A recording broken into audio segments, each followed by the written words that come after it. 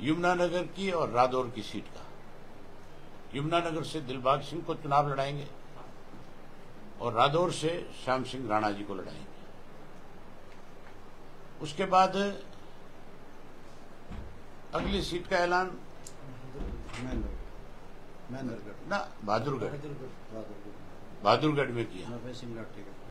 नफे सिंह राठी जी के परिवार से लड़ाएँगे। और उसके बाद महेंद्रगढ़ प्रॉपर से। सुरेंद्र कौशिक को लड़ाएँगे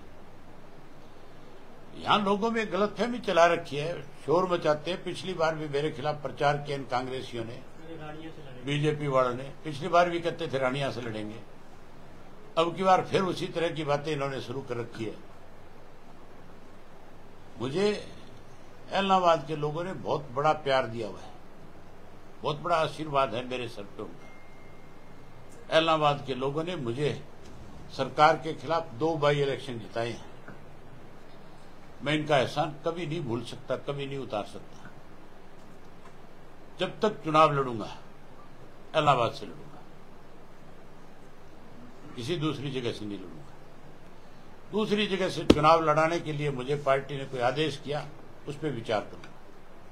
वो पार्टी का फैसला होगा। किसी का सवाल हो ठीक